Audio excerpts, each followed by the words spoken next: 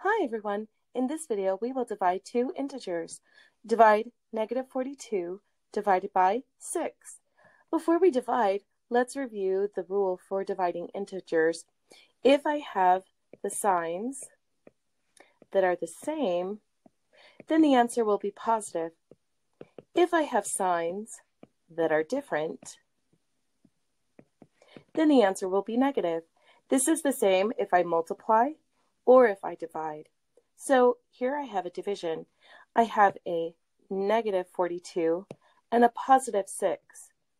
There's not a sign in front of the 6, so it is automatically a positive.